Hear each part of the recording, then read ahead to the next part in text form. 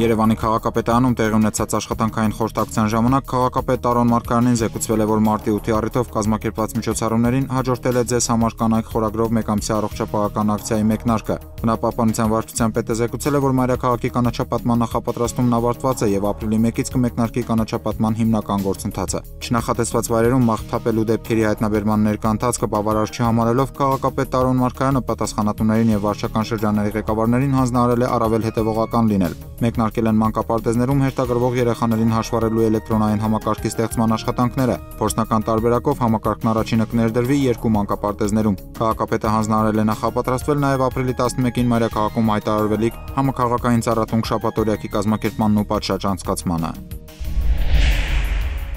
Երևանի քաղաքապետարանում տեղի ունեցած խորհրդակցության ժամանակ, որը վարել է քաղաքապետ Տարոն Մարկարյանը, ամփոփվել են Մայրաքաղաքի վարչական շրջանների 2015 թվականի փետրվարի ընթացքում կատարած աշխատանքների գնահատման եւ վերլուծության արդյունքները։ Աղյուսակային ընդհանուր սանդղակում առաջին հորիզոնականը զբաղեցրել է Դավթաշեն վարչական շրջանը, երկրորդը Արաբկիրն է, իսկ երրորդ տեղում Ավան վարչական շրջանը։ 2015 թվականի փետրվար ամսվա ամփոփիչ գնահատման եւ վերլուծության արդյունքներով ամենացածր ցուցանիշը գրանցել է Շենգավիթ վարչական շրջանը։ Զեկուցվել է նաեւ, որ մարտ ամսվա աշխատանքների գնահատումն արդեն կիրականացվի համակարգում ներառված քաղաքային տնտեսության ուղղությունների շրջանակի ընդլայնմամբ։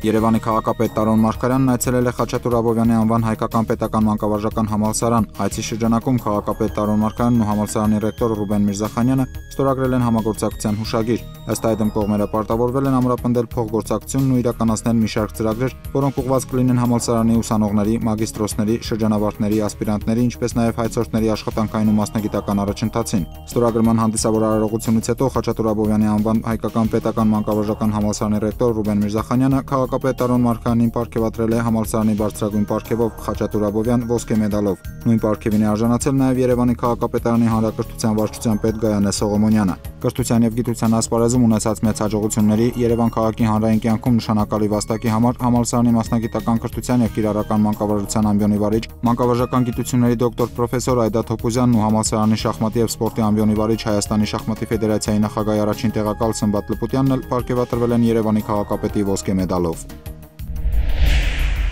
Հայաստանի Հանրապետության նախագահ Սերժ Սարգսյանը ներկայ է գտնվել Երևան Մոլ բազմաֆունկցիոնալ համալիրում ֆրանսիական Carrefour առևտրային ցանցի հայաստանյան հիպերմարկետի բացման պաշտոնական արարողությանը։ Հիպերմարկետի բացման պատիվը վերապավել է Երևանի քաղաքապետ Տարոն Մարկարյանին եւ Carrefour-ի հայաստանյան գրասենյակի տնօրեն Քրիստիան Դնալին։ Այնուհետ նախագահ Սերժ Սարգսյանը Տարոն Մարկարյանի եւ Քրիստիան Դնալի ուղեկցությամբ շրջել է Carrefour-ի տարածքում, ցանոթացել առաջարկվող ապրանքատեսականուն, գնային քաղաքականությանը եւ ծառայությունների որակին։